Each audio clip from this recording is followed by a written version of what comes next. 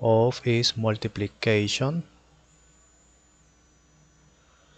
3 multiply 360 divided by 10 is 36 okay.